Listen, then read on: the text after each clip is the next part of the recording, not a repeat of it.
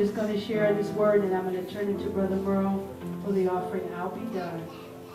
You know, he did it backwards, but it's okay. It's all right, y'all. I'd rather run with the anointing. Y'all understand? I didn't know I was going to say the things that I said, but I don't take nothing back. Because it was for somebody. If it was just for me, Patty, it freed me. Amen. I was in a lot of pain when I came up here. But I can say I'm not in no pain right now.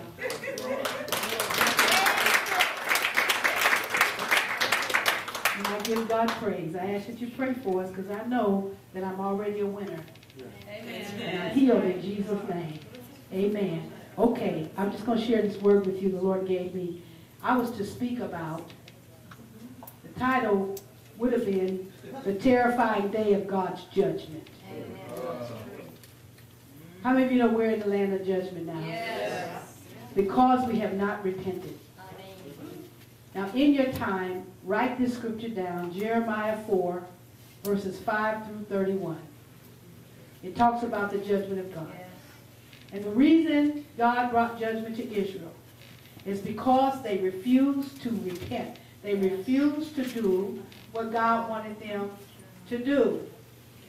They refused. He put out a plea in the first part of chapter 3 and 4 for them to repent, and they did not. So God said, because you have not repented, I'm going to bring judgment. The Lord told me to tell the people tonight, America is under the thumb of God and judgment. That's right. Because we have not repented.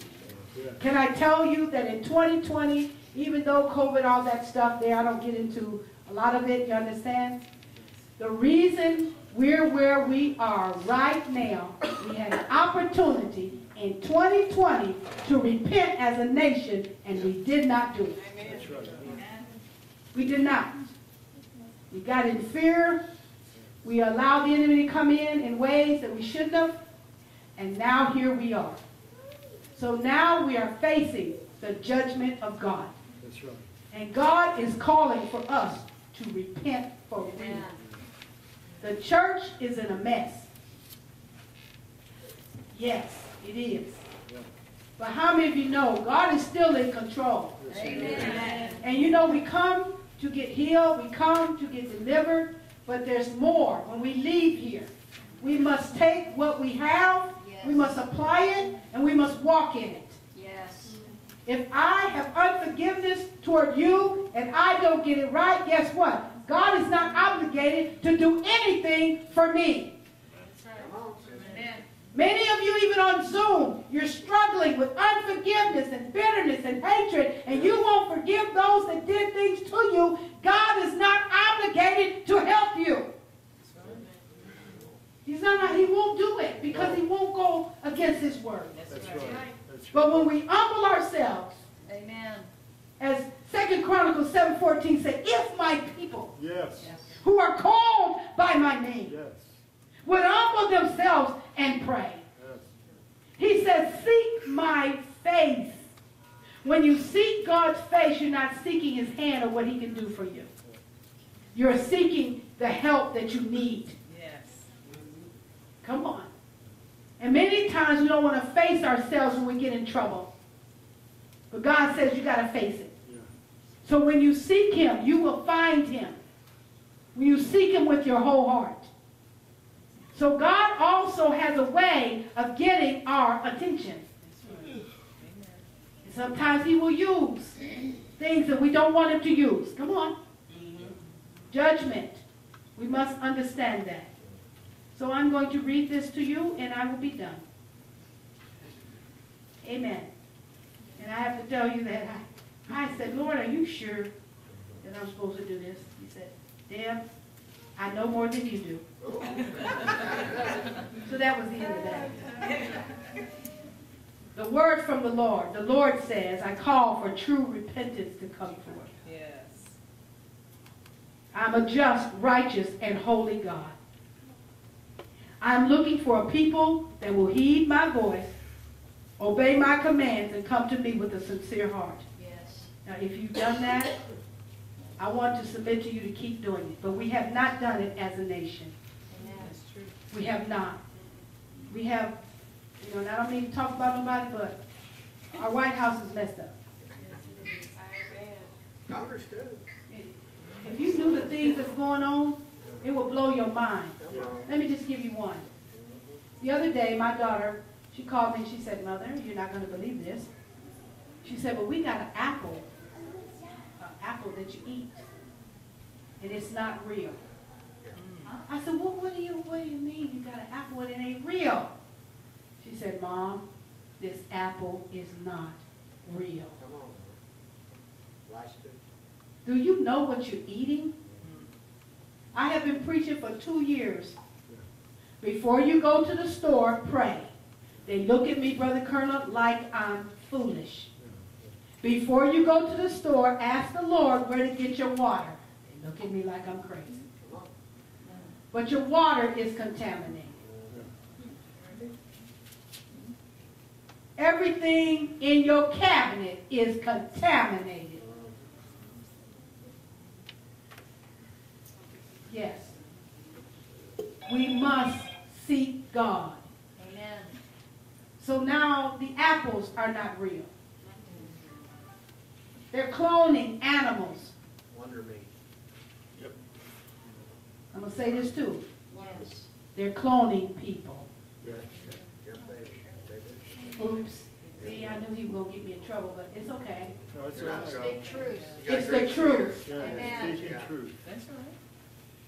They're cloning your voice through AI, Yeah. Amen. artificial intelligence. They're stealing your information. Yes. This is the land we're living in. Mm-hmm. You don't know what's real and what's not. Our young people won't know who they're marrying in a few years. They won't know if the girl is a girl or a boy is a boy. I wish I had a church. Right. And this is why judgment is coming to America. We've allowed it to happen. Yes. We sat back in our seats of Zion and ease in Zion, and we have allowed the enemy to come in and wreak havoc. That's right. Yes. You can't even eat the meat. Things are making people sick. This is where we are. This is why God said you must tell the people judgment. He's not pleased with the church. And not only in America, all over the world. Nations he's judging. This is why the rains have been so hard.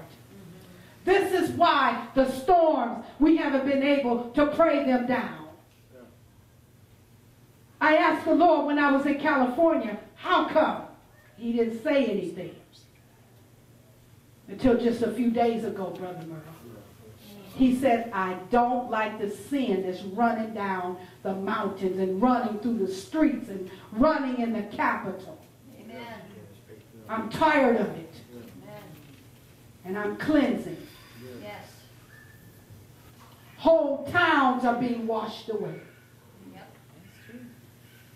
And we can do nothing about it but pray That's it. for God's mercy. That's it. It's time to pray. Amen. It's time to call on God Yes. for real. So the Lord is saying, sin will not reign. I will judge and I will cleanse the land, says the Lord. I am grieved because of the wickedness that is spreading like cancer throughout the world. Yes. I have called and called, but many have gone about with a deaf ear Yes. to my pleas to repent. I say to you, listen to my voice. Look up and seek my face, for I love you with an everlasting love. That's it. Amen. I will show myself strong to my people. Yeah. I will work miracles for those who surrender their all to me. Let me tell you something. He's not going to work a miracle for you to go out and do what you want to do. Amen. I know a young lady several years ago that had stage four cancer. And God healed her. But God gave her a warning and said, You must walk a chalk line. She got her hair back. You couldn't tell she had went through the cancer. And she rose up and got rebellious and said, I will do what I want to do. I will live the way I want to live. And she went back into the lifestyle. Within two weeks, the cancer hit her head and went all through her body. She is dead tonight. God is not playing with us. He will not take, amen, our craziness and our excuses. Amen. He's calling for true repentance. Amen. Thank you, Jesus. The Lord says this is the time to stand true to my word. Do not compromise for easy living. How many of you are taken down? Yeah. Constantly compromise. You won't tell the truth. Just a short time ago, the Lord challenged me. He said, you got to stand up and confront some things. Yes. Can't let sin run rampant even in your family. That's it. Sometimes tough love is the best way to go. Yes. Glory to God. Do not take down for what my word declares. Just as I judged in days of old, I am judging now, says the Lord. I call for true repentance. Yes. Walk in my word and do not deny my name. Cleanse yourselves from all filthiness of the flesh, and I will receive you. Come to me and take my yoke on you, for my yoke is easy and my burden is light. I will give you rest for your souls, says the Lord. I say to you, repent. Draw near to me, and I will draw near to you. I will be your God, and you will be my people. I will favor you with grace and mercy. I will pour my spirit on you and refresh you with living water, says the Lord. I will not leave you nor forsake you. I say again, I am just, righteous, and holy. Walk with me, and I will walk with you. The last thing I want to say is this. Preachers, I want to encourage you to preach as never before. Amen. Speak the truth. Amen. Speak it in love.